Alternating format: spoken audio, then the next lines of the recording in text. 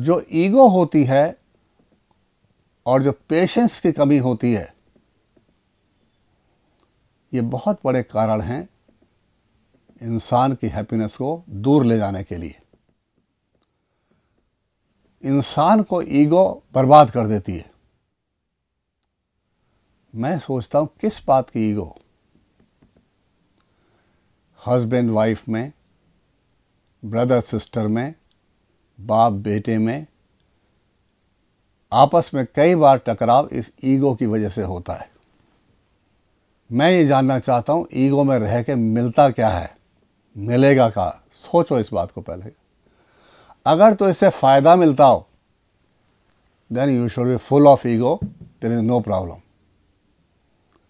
आप किसी दिन कागज़, पेन पर बैठ के लिखो कि जब से मैं वाइफ से नहीं बोल रहा हूँ या पिताजी मेरे से बात नहीं कर रहे हैं या दो भाई आपस में लड़े हुए हैं, जब से, तब से लेकर आज तक मुझे कितने फ़ायदे हुए हैं और कितने नुकसान हुए एक बार लिख के देखो।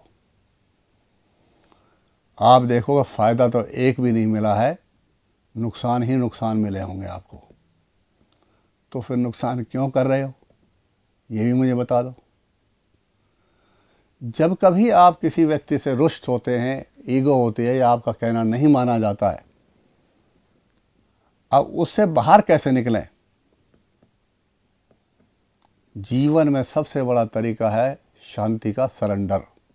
अपने आप को नीवा कर दीजिए तो प्रॉब्लम सॉल्व हो जाएगी। हमारे यहाँ कहावत है, झिक्के को नहीं धिक्का, जो झुक गया उसको कोई धक्का नहीं देता। वो तो पहले ही झुक गया उसको क्या क्या धक्के दोगे? तो आप डेफिनेटली उसको गले लगाएँगे जो झुक जाता है। झुकना एक बड़ापन की निशानी है, कमज़ोरी की नहीं है। अगर आपने शांतिपूर्वक को एग्जिस्ट करना है आपस में घर में, इकट्ठे रहना है और शांति से रहना है और जब कभी मन मुटाव आ जाए या एक दिन बात नहीं करी, दो दिन बात नहीं करी तो मैं चाहता हूँ उस समय आप बैठ के वो लम्हे याद करो जो पास्ट में आपने बड़े प्यार और खुशी से बिताए थे। जैसे वो लम्हे आपको पुराने याद आएँगे तो फिर आप सोचोगे, यार, जिस आदमी को मैंने इतना प्यार किया, उसी को दुखी कर रहा हूँ। क्या कर रहा हूँ? वो ख्याल आते ही आप उसको डेफिनेटली सॉरी बोलेंगे सरेंडर करेंगे और मामला वही निपट जाएगा। 24 घंटे से ज़्यादा, एक रात से ज़्यादा ईगो आगे नहीं बढ़नी चाहिए, किसी कीमत पे भी नहीं बढ़नी चाहिए। इससे परिवार का, फैमिली का, लोगों का दिमाग और ख़राब होता जाएगा। जितना इसको लंबा स्ट्रेच करोगे उतना ही पॉइजन बढ़ती चली जाएगी। Ego secretes poison droplets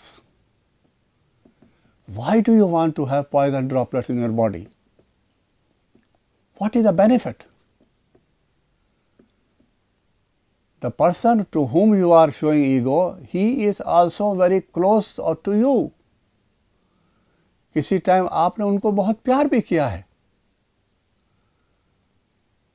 तो प्यार में तो सिर्फ़ सेक्रीफाइस होता है, कुर्बानी होता है रिवेंज लेना तो होता ही नहीं।